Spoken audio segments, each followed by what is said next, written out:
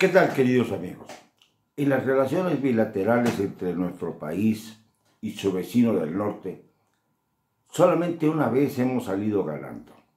Y fue cuando don Adolfo López Mateos recuperó en la época de Kennedy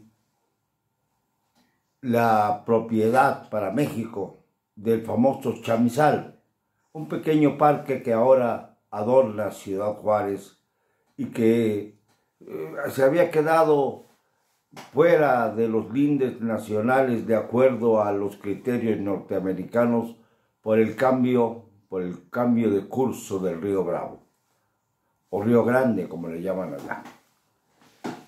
Por fortuna México recuperó ese territorio y López Mateos pudo presumir que aunque eran unas cuantas hectáreas, México era más grande. Y sí, era más grande porque había una gran dignidad entre los presidentes de México. Una gran dignidad que aunque hubiera una dictadura priista en nuestro país, se basaba en la doctrina estrada de la no intervención y se, y se basaba también en la exigencia de respeto mutuo.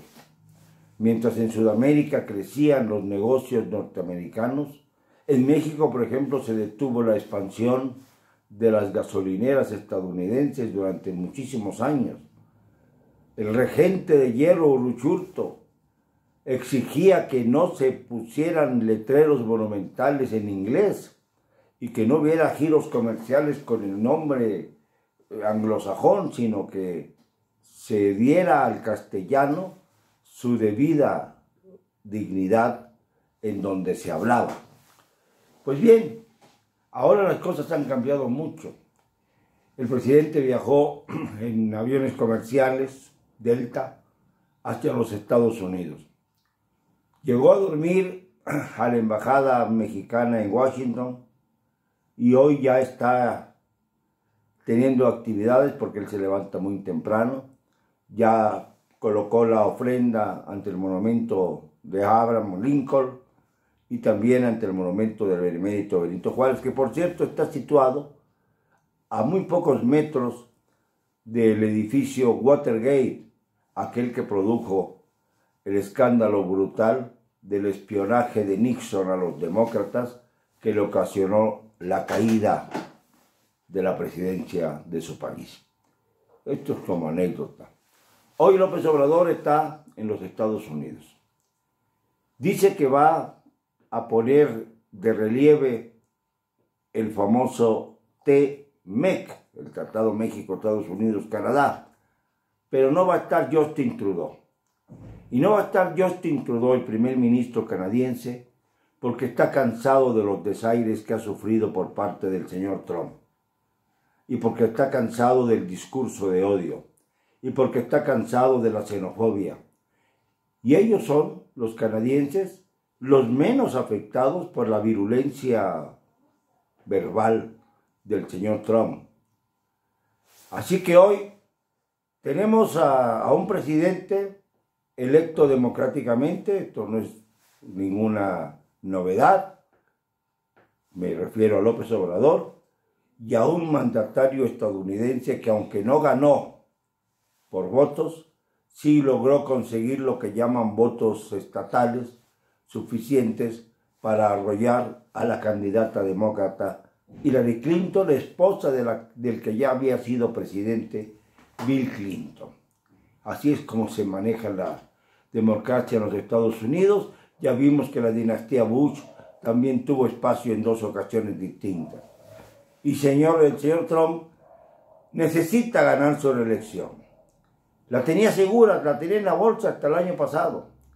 Pero dos sucesos oscurecieron esta perspectiva. Primero, los efectos racistas de la muerte de Gerard Floyd en Missouri por la violencia brutal de la policía. No es la primera vez que ocurren actos así, pero este dio ocasión a una reacción multitudinaria en todo Estados Unidos que le puso la daga al cuello de Trump.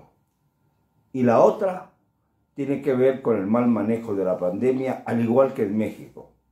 En esto se parecen los dos, los dos mandatarios que se reúnen hoy, tanto Trump como López Obrador.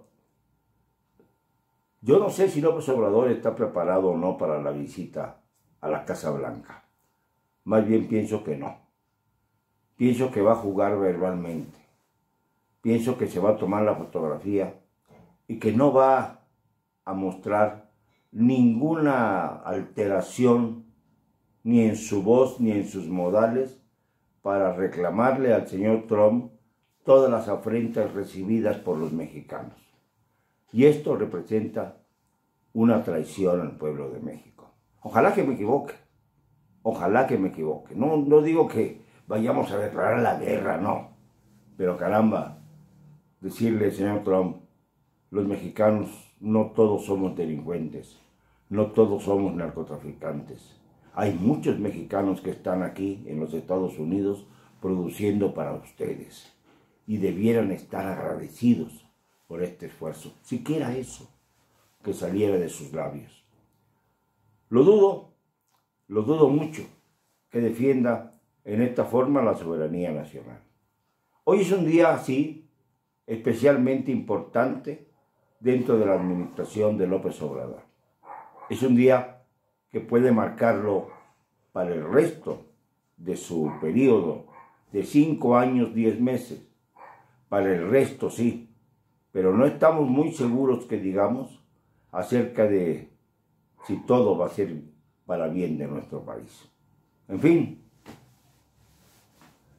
lo siento, no me van a callar. Y lo digo con cero cobardía, porque además conozco, conozco todos los intrínculis de toda esta parodia que se ha montado alrededor de las relaciones bilaterales entre México y los Estados Unidos. Con cero cobardía.